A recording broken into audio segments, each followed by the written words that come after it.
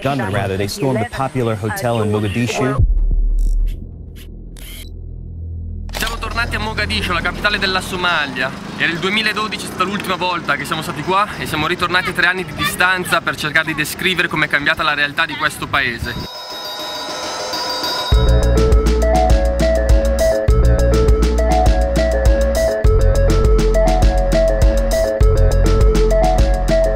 Situazione in questo momento non è affatto sicura, stanno sparando tutto intorno.